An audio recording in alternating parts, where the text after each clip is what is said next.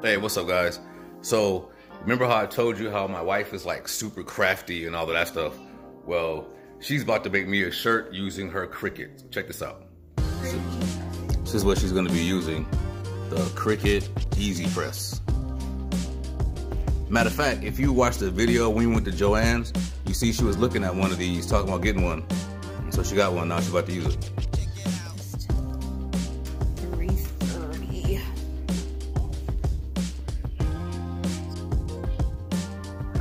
Okay, what are you doing? So I'm just gonna preheat the surface.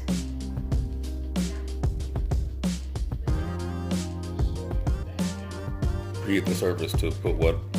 To put the, to press this uh, picture on it. I hope I put this on straight. I don't have a t-shirt measurer. If it doesn't go on straight. Whatever be unique. Look straight.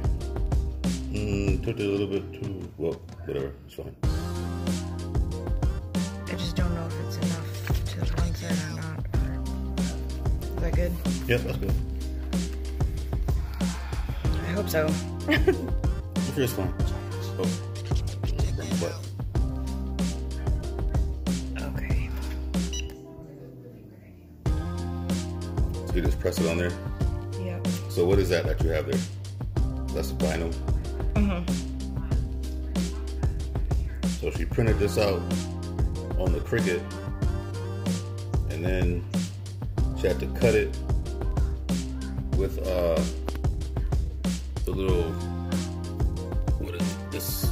Oh, I, that's the weeder. She has the weeder with this thing to cut the picture out that was just one white block, and she had to cut it all out with the little weeder thing. Okay. She flipped it over, and now she's doing it from the other side.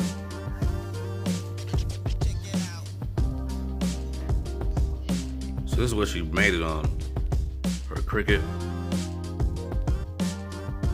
Got her this for Christmas a few years ago.